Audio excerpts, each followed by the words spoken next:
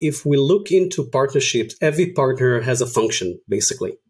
Um, so you can look at those partnerships from inside out and from outside in. Okay, so we're talking about amplification of your sales, marketing, operation team. How do you go about that?